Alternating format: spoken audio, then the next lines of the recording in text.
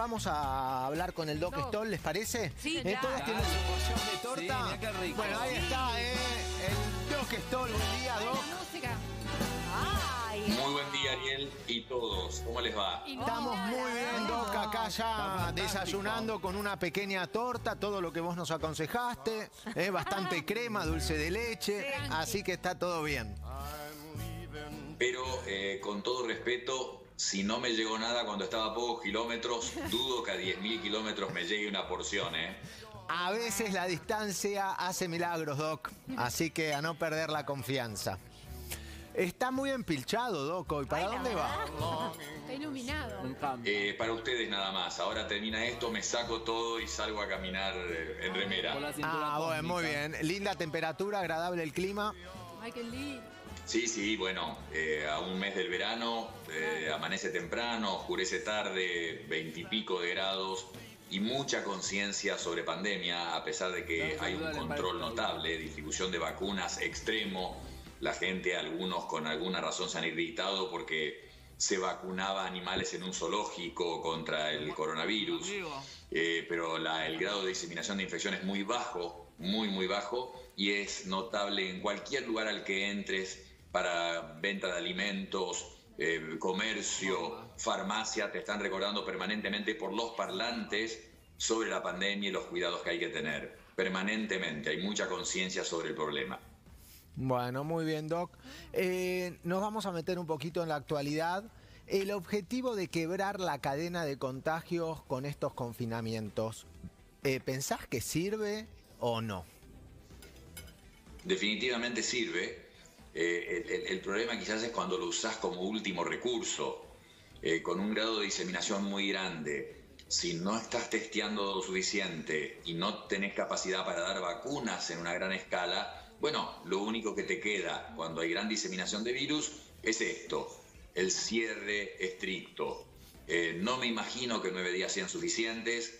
Con vos acá hemos contado la historia de Israel, cuando en enero tenían la diseminación de virus igual que la nuestra, cerraron un mes, pero al mismo tiempo testeaban mucho y dieron una de las vacunaciones más rápidas en mayor escala de todo el planeta. Entonces tenés que acompañar al aislamiento de otras medidas. Eh, nueve días no va a ser suficiente, eh, es razonable haberlo hecho. Eh, sabés que en el sistema público y privado ahora el sistema de salud realmente está con mucha atención, la máxima que ha tenido en el público. Algunas personas han tenido dificultad en encontrar cama.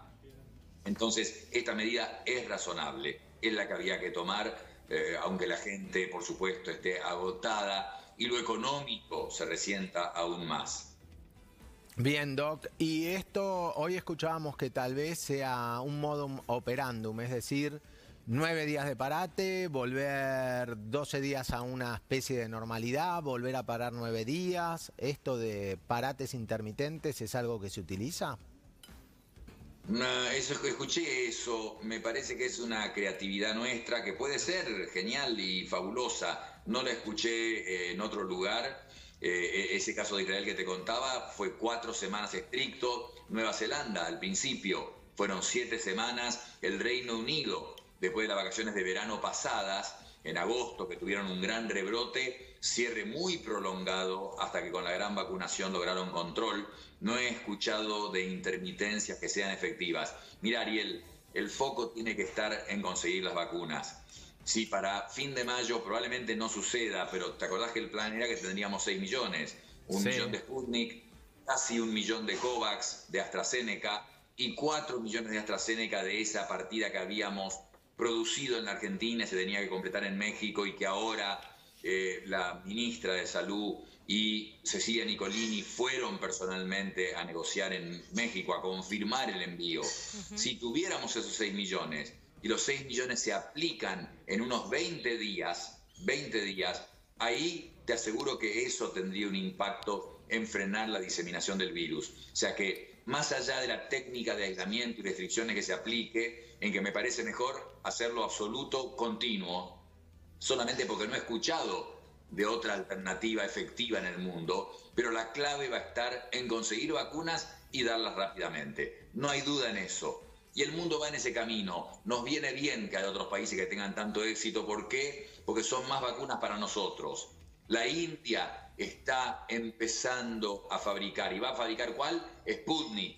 Y supuestamente en Brasil, que lo anunciamos hace muchísimo, una compañía Unión Química empezaría a hacer Sputnik. Y también es importante que la Sputnik se fabrique en escala, no solo porque la necesitamos en la Argentina y hay muchas segunda dosis pendientes, sino para que la prueben en la agenda europea. Acuérdate que no se puede entrar ahora a Europa con Sputnik, sí con Sinopharm, pero no con Sputnik. Ahora, si la Sputnik empieza a desplegarse más masivamente, quizás la autoridad regulatoria europea la apruebe y pase a entrar en el pasaporte de vacunas mundial. Bien, Doc. Em, ¿Por qué esta segunda ola está afectando a los más jóvenes? ¿Simplemente porque no están vacunados o hay otras explicaciones? No, la principal es esa, ahí tenés el efecto de la vacuna.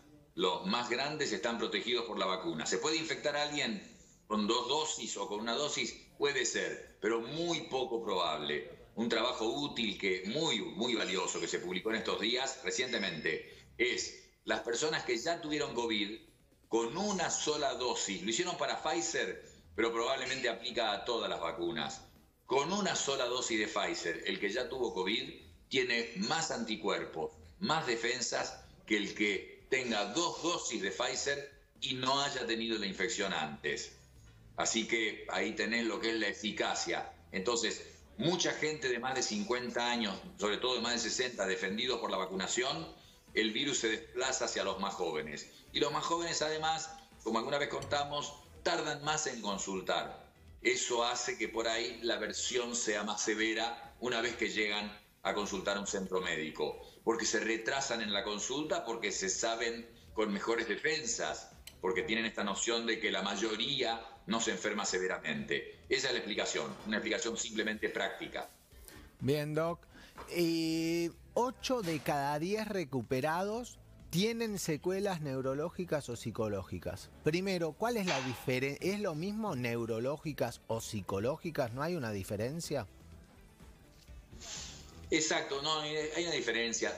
Es interesante lo que preguntás porque la neurología nació de la psiquiatría, eh, porque, por ejemplo, la certificación de especialista en Estados Unidos, la que yo tengo en un diploma, dice eh, certificado por el Consejo Norteamericano de Psiquiatría y Neurología. Entonces van de la mano de cierta forma, pero es distinto. Las consecuencias que llamamos mentales, psicológicas, psiquiátricas, son el problema del sueño, de la ansiedad, angustia, depresión. En eso hay una fuerte carga en este momento en el mundo en general y mucho más en países como los nuestros que no salen de la pandemia. Ahora, neurológico ya es más objetivamente daño en alguna parte del cerebro. Lo del olfato lo conoce bien la gente, sobre todo los jóvenes lo han notado más, la pérdida del olfato, la alteración del gusto junto con la pérdida del olfato. También la famosa niebla cerebral, que es una dificultad de concentración, de atención, de memoria y después ya se pueden afectar los músculos, se pueden inflamar los nervios, eso deja debilidad en los brazos y en las piernas, puede haber convulsiones, se forman coágulos, se ha visto que este virus tiende a formar coágulos que cuando suben al cerebro tapan o las venas o las arterias del cerebro y eso produce distintas formas de ACV. Entonces ahí tenés la parte neurológica, más directamente el daño del cerebro, la parte que llamamos mental, lo que trata más el psicólogo y la psiquiatría que va desde la angustia, los miedos, hasta el pánico o la depresión. Bien, Doc. Vos nombraste recién el trastorno del sueño. Eh, ¿Dormir bien es importante para el ser humano? Porque mucha gente ya hace más de un año y pico que descansa muy mal. Y está esta idea, siempre estuvo, no, no, no, yo soy de los que puede dormir poco y, durmiendo poco estoy bien y bueno, el día dura más, pero no es así. La realidad es que aunque se sienta bien, una persona que duerme menos de lo necesario no está bien cognitivamente. Hay infinidad de estudios que lo muestran. Se ha evaluado, por ejemplo, a cirujanos operando a la tarde o a la noche y a la mañana. Los resultados son consistentemente mejores en la mañana. Es más, una cirugía de emergencia inesperada a la mañana, no programada, tiene mejores resultados que una cirugía programada que se haga a las 5 de la tarde o 6 de la tarde. Hay libros de negocios que dicen, si usted tiene ese empresario, emprendedor, No tome decisiones después de las 3 de la tarde, va a tender a equivocarse. Evaluaciones de jueces dando penas, sentencias, cambia muchísimo. Las sentencias quedan en las primeras horas de la mañana con respecto al resto del día. La respuesta concreta, hay que dormir entre 6 y 8 horas. Menos de 6 horas, y estos son estudios en más de 100.000 personas en más de 20 países. Menos de 6 horas por día, menor expectativa de vida, Ariel. O sea, mayor enfermedad cardiovascular. Y cuidado, más de 9 horas por día también aumenta el riesgo cardiovascular. O sea que hay un rango, una ventana que es la óptima. Ideal entre 6 y 8 horas. Siesta, que es la pregunta típica y más que culturalmente en muchas provincias de nuestro país se usa, eh, es preferible evitarla y como mucho que sean 30 minutos, 40 minutos. No más de eso. Eh, sabemos que hay provincias en que la gente se pone pijama, se, se va a dormir y se acuesta y corta el día realmente en dos partes. Eh, pero, pero el sueño, bueno, se ha usado como tortura, ¿no? En muchos casos, y sabemos que a partir de dos, tres días sin dormir, el cuerpo puede tener convulsiones o incluso llegar a la muerte. Hay una enfermedad en una familia genética en que pierden la capacidad de dormir. Se identificó en Italia. Son personas que mueren a los 40 años, empiezan a dejar de dormir cada vez menos, cada vez menos, hasta que no duermen nada y entran en un estado de especie de coma y muerte se llama el insomnio familiar fatal. Una cosa muy rara por suerte, pero solamente para destacar lo importante que es dormir bien. Doc, y la pregunta obligada es cuando por la pandemia, con tanto, llamémoslo estrés o incertidumbre, hay gente que no logra dormir. Entonces es causa para consultar al médico o al psicólogo, al psicólogo, lo que sea cuando agotaste, que te tomás el té de tilo, que no comes pesado, que no mirás las pantallas antes de ir a dormir y así todo te dice la gente, no duermo, me acuesto y a la una de la mañana me desvelo y a otra cosa mariposa. Hay que consultar al médico entonces, es causa para ir. E, exacto, exactamente. ¿Por qué? Porque hay causas de no dormir que son naturales, que se acentúan en una pandemia, obviamente, pero a partir de los 25 años ya empieza a disminuir la capacidad para dormir, muy temprano en la vida ese dormir profundo de los chicos adolescentes de 18, 20 años, enseguida a los 25, 30 empieza a disminuir esa capacidad y cada vez dormimos menos. Vas a encontrar a alguien de 60, 70 o 80 que duerma perfecto, pero es excepcional. Entonces, las medidas usuales, que la cama, el colchón estén en buen estado, que el cuarto esté oscuro, vos lo dijiste muy bien, no solamente no comer pesado, comer temprano, comer poco, no cafeína, eh, café, bebidas gaseosas, cuidado, la pantalla, todo lo que vos dijiste, no hacer ejercicio tarde en el día, estar relajado. Después técnicas de relajación, y no estoy hablando de hacerte un experto en estas técnicas, solamente cinco minutos cerrando los ojos, concentrado en la respiración, el aire que entra y sale, eso hace una diferencia si lo haces como una rutina. Ahora, vos has hecho todo eso, no funciona, seguís sin dormir, absolutamente hay que consultar y un mensaje para la gente, que no tengan miedo a tomar medicación si un profesional indica medicación, no hay tal cosa como adicción, dependencia, tolerancia y que les va a hacer mal y les va a hacer perder la memoria. No hay tal cosa. Una medicación para dormir bien indicada siempre va a ser muy superior el efecto positivo que cualquier efecto colateral que además, insisto, yo como médico hace 40 años receto estos medicamentos, es excepcional que alguien pudiera tener un problema tomando una medicación bien indicada para dormir. Bueno, eso es una gran aclaración, Doc, porque hay gente, viste, que va de un extremo al otro. Eh, jamás tomé nada para dormir y defienden eso a muerte y no duermen, pero bueno, por no tomar nada. Y si el médico te, lo, te está diciendo lo importante es descansar, así que bueno, consultar al médico sobre todo y que, juntos decidirán lo mejor. Eh, Doc, ¿estás escuchando esto, el estrés del cuidador? Sí, y te, lo contesto, pero ahí dijiste un consejo de los más valiosos que hay. Mucha gente tiene esta actitud de ser reacio a tomar medicación. Mm. Eh, de ninguna forma. Hay que entender que, claro, a los 20 años es muy raro, aunque tenemos chicos que, hay que estar, tienen que estar medicados por distintas razones. A los 30, a los 40, a partir de los 50 años, ya sea para proteger las arterias o por la razón que sea, lo usual es que las personas tengan que tomar alguna medicación y eso es lo que permite cumplir 80, 90 o 100 años en buen estado. Vos podés tener un estado físico fantástico, vos podés hacer ejercicio todos los días, pero si te tocó tener hipertensión o diabetes o colesterol, vas a tener infarto y así ha pasado hasta hace pocos años. Ahora que entendemos mejor la salud arterial y cómo prolongar la vida, queda claro que la mayor parte de la gente probablemente es candidata a tomar algo que mantenga jóvenes las arterias. Acordate que lo que se ve por afuera no son las arterias, es el cuerpo que puede estar en excelente estado a una edad avanzada y por adentro la, la nutrición mala o el colesterol o la presión están haciendo daño.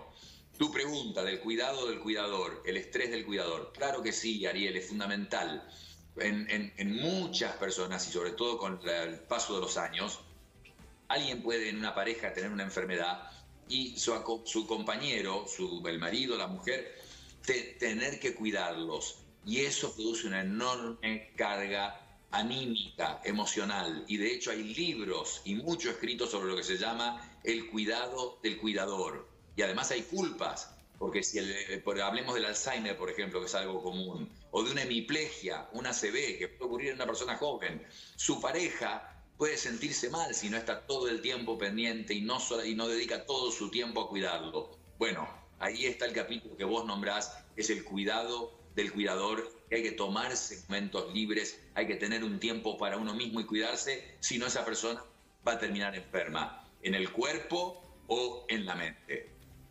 Bien, Doc, súper claro entonces. Esto también es importante con todo el sistema de salud, ¿no? Cuidar a los enfermeros, médicos y demás, que tengan los tiempos de descanso, etcétera, porque si no, explota todo. Nunca quedó tan claro como en esta pandemia eh, que la gente se agota, se estresa, el, el estrés postraumático, el agotamiento físico concreto. Lo que hablabas del sueño hace un rato, y yo lo recuerdo cuando muy joven hice la residencia eh, acá exigían 120 horas de trabajo por semana. O sea que esencialmente dormíamos un día en el hospital, un día en casa, un día en el hospital, un día en casa y el día del hospital obviamente no era dormir, estábamos despiertos toda la noche. Y así era como estábamos obviamente agotados y nuestros resultados eran malos. Cuando estás tan agotado, yo me acuerdo escribir, dormirme escribiendo una historia clínica, dormirme auscultando a un paciente. Eh, o te despertaban en el medio de la noche, esa, esa, hora que podías dormir y tenías que dar una indicación quizás importante telefónica. No, no hay duda, no hay duda que está todo unido, el descanso y que en el sistema de salud, enfermería, médicos, es como lo de la aviación, ¿no? A, todos, a, todo el mundo sabe que se pasa la hora del sueño o del descanso de una tripulación y quizás ese avión se atrase porque tienen que cambiar toda la tripulación completa. Es muy estricto el horario para optimar. ¿Por qué? Porque se sabe el riesgo que se corre en la aviación si la tripulación está cansada. Bueno, en la medicina y en otras disciplinas pasa lo mismo, exactamente lo mismo y se tendría que tener el mismo cuidado. Bien, Doc. Y para cerrar te pregunto, la vitamina D, se está hablando que, que está buena o que previene el COVID o que ayuda a las vías respiratorias. ¿Es cierto o habladurías nomás por ahora? No, es en, la única que voy a tener un doble estándar, porque si me hubieras nombrado, y no voy a nombrar ningún remedio, que hay muchos populares en la Argentina que se han dado y la gente toma, y no hay evidencia de que sean efectivos, pero hay muchísimos remedios de los que se han hablado que no tienen efectividad, y ahí sí, siempre he dicho no tomarlos, porque cuando hablas de un remedio, de una medicación, puede tener efectos colaterales. La vitamina D no tiene ningún riesgo es algo que está naturalmente en muchos alimentos, como vos sabés bien. Y hay alguna evidencia, nada contundente, pero hay evidencia de observación de que las personas con mayor nivel de vitamina D en la sangre tenían un COVID más leve. Distintos estudios de distintos lugares que mostraron cosas similares. Ninguno en forma contundente, pero dado que es una vitamina y es algo absolutamente inocuo, yo recomendaría o el sol o los alimentos con más vitamina D o quizás algún suplemento con vitamina D en estas épocas de pandemia, por lo menos por ahora. Eso resulta prudente hacerlo aunque no haya evidencia contundente de una efectividad contra el COVID-19 y que la gente no haga otras cosas. Se han hablado de buches y tomar test mezclados con ciertas sustancias y, como dije antes, medicamentos que no tienen prueba de eficacia. Eso no hay que hacerlo. Si fuera efectivo, lo sabríamos inmediatamente en todo el planeta. Perfecto, Doc. Es importante una caminata, ¿no? Que te pegue el sol en el cuerpo como para fijar la vitamina D. Tres caminatas, te diría. Tres caminatas. Porque lo digo como exagerando que no solo por el sol en el cuerpo, sino el ejercicio. El ejercicio no es opcional si vos querés tener una vida larga y con buena calidad de vida. Entonces ahí estás mezclando las dos cosas, esa caminata al aire libre, por el sol, por la vitamina D, lo decías vos, pero yo agrego el hecho de hacer ejercicio y caminar es un muy buen ejercicio, indispensable para tener un cerebro sano. Bien, la vitamina D y ya te largamos, Doc, así vas a disfrutar de tu día. La vitamina D, cada vez más ves gente, a mi vieja o algún amigo ya que está más grande, que le dan una pastillita de vitamina D, puede ser, para evitar tanto la exposición al sol, que tiene los problemas por la piel, el cáncer, etcétera. Eh, sí, pero te, te, diría que es porque con la edad la gente sale menos. Ese es un hecho Ah. concreto y práctico. Las personas de más edad están menos tiempo al aire libre y más tiempo encerradas. Por eso le suplementan con vitamina D y para las funciones que tiene con el calcio, los huesos, que de nuevo a los 20, 30 años estás expuesto al sol mucho más frecuentemente, tus huesos están fuertes, sólidos, eh, sin problemas, sin osteoporosis. Entonces con la edad menos exposición al sol, más debilidad ósea. Bueno, por eso se dan suplementos en personas mayores. Bueno, perfecto, Doc. Eh, gracias por tu tiempo, súper claro. Y la semana próxima volvemos a hablar. Disfrutá junto a tu familia de este lindo día allá en Nueva York. Gracias, Ariel, y saludos a todos ahí. Saludos, chao Doc, buen día. Chau, Doc. Muy bien, ahí estuvo el doctor Stoll, súper claro todo como siempre, así que linda charla.